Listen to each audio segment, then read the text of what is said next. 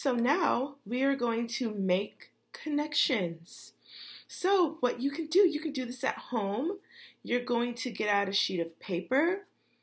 Um, you can use color pencils or a crayon.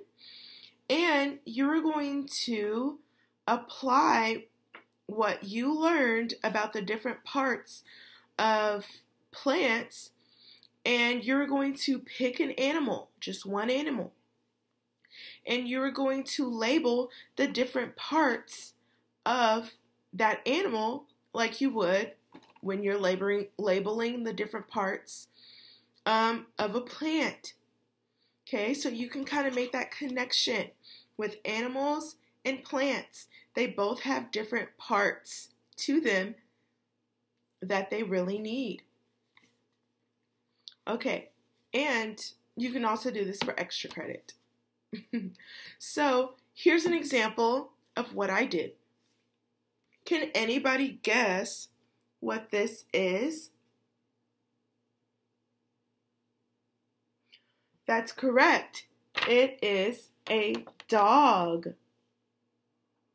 Did I do a good job at drawing it? okay, so you see how I labeled the different parts of the dog. So right here are the paws, which I'm sure many of you know that, especially if you have a dog. Here's the mouth. Okay. The ears, they really need the ears to hear things. The eyes, they need eyes to see. The nose, they need the nose to be able to smell their food or just be able to smell anything. Okay, and the tail.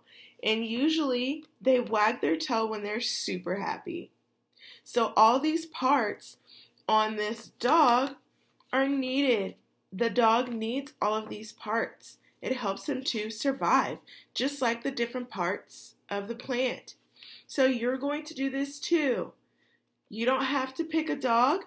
You can pick any type of animal a cat, um, a mouse, a goat, a horse, a cow. And you're going to do the same thing.